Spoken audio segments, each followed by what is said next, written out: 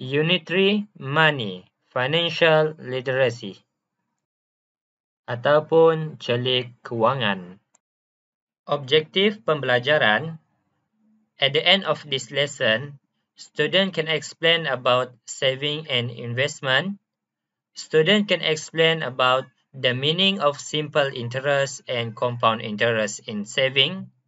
Student can explain about credit and debt Student can explain about purchasing via credit and cash. Zaman sekarang, murid-murid sudah boleh menyimpan wang di dalam bank. And then the bank will offer you two types of account. The first one is a saving account and the second one is investment account. Apakah itu saving account dan apakah itu investment account? So, we look at the differences. The first one, in aspect of meaning dari segi maksud. What is the meaning of saving account? Saving account means the money keep or deposit and can be used when necessary. Manakala investment account bermaksud the money used for a certain business that will give profit in the future. Difference in aspect of withdrawal dari segi pengeluaran. Saving account, we can withdraw our money anytime but in investment account, we can withdraw our money after a period of time. Okay, difference in aspect of starting amount dari segi permulaan simpanan. In saving account, the starting amount is low. Tetapi dalam investment account, the starting amount depends on the types of investment. Dari segi aspek others, dari yang lain-lain, in saving account, the bank will give you interest 1% to 2% interest rate per annum. But in investment account, the bank will give you profit. The profit rate is usually above 2% per annum. Simple interest and compound interest. If we keep or save our money in a bank, the bank will give us interest there are two types of interest. The first one we call is simple interest. The second one is compound interest. What is the meaning of simple interest? Apakah maksud simple interest? Simple interest is an amount of money received by anyone who save money in a bank within a period of time.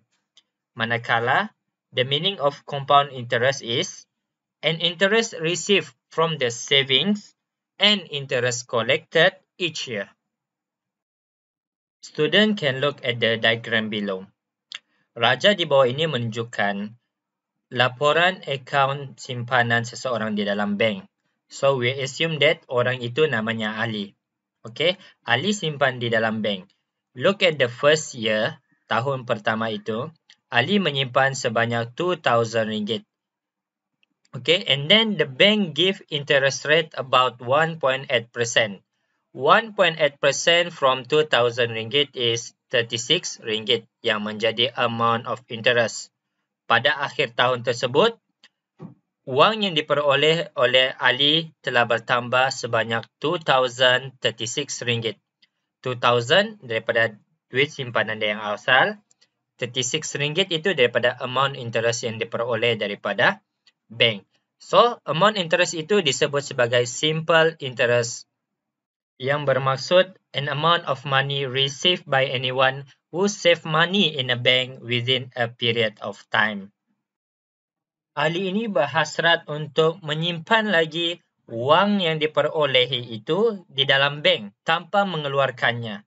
Which means the money at the end of the first year iaitu 2036 ringgit itu dia bawa kepada at the beginning of the second year yang berwarna kuning anda boleh lihat the second year itu dia bawa duit pada hujung tahun pertama kepada awal tahun-tahun kedua.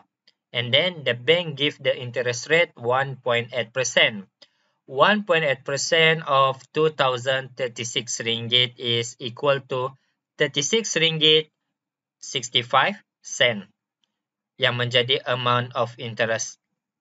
Okay, and then at the end of the second year, amount of money yang diperoleh oleh Encik Ali ini telah bertambah dan menjadi 2072 ringgit 65 sen. Student may look at the amount of interest for the second year, iaitu RM36.65. Amount of interest ini diperoleh daripada saving and interest collected each year. Amount ini diperoleh daripada simpanan dan juga interest yang diperoleh pada tahun sebelum, iaitu daripada nilai RM2,036.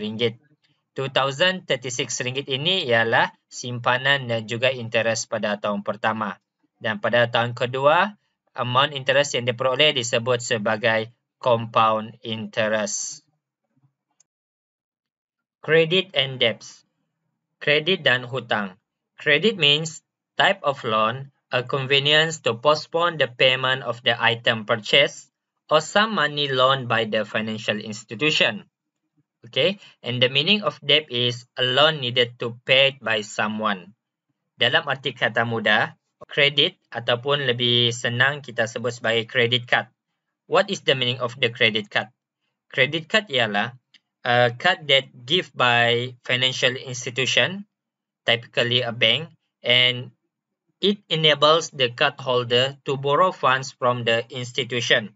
Okey, uh, pemegang kad itu boleh pinjam duit kepada institusi bank tersebut dan after that dia perlu bayar balik, dia perlu pay back the money to the bank with the interest dengan kadar faedah yang diberikan lah oleh bank tersebut. Bila kita bayar guna kad kredit, kita bayar dulu guna kad. Maksudnya kita pinjam duit dari bank dahulu. Apabila kita sudah ada duit, kita sudah ada gaji, kita bayar balik duit yang kita pinjam dari bank tersebut. And then what is the debt? Apakah itu hutang? I think everyone know what is the debt. Debt itu contohnya bila kita borrow money from our friend. Maksudnya kita berhutang kepada kawan. Apa perlu kita buat? After we have the money, kita perlu bayar balik duit yang kita pinjam. Purchasing via credit and cash. Sekarang ini apabila kita membeli barang di kedai, terdapat dua cara yang boleh kita gunakan untuk membayar barang tersebut. First, via credit and second, via cash. Apakah perbezaan kredit dan juga cash? Okey, jadi perbezaan apabila kita bayar ataupun purchasing via cash secara tunai, we not in debt. Kita tidak berhutang dengan mana-mana pihak. The second one, no interest. Tiada pihak bagi kita faedah. The third one, we paying for the actual price. Kita bayar dengan nilai harga yang dijual tersebut tiada penambahan atau tiada penolakan. And fourth, the payment is made in full cash or debit card. Bayaran itu kita buat secara tunai dan juga secara debit card. Berbeza dengan apabila kita purchasing via credit. Okay, apabila kita membayar menggunakan kredit, kita in debt. First one, we are in debt. Kita dalam berhutang. Berhutang dengan siapa? Dengan financial institution typically a bank lah. The second one, interest is imposed. Kita dikenakan interest ataupun faedah oleh bank.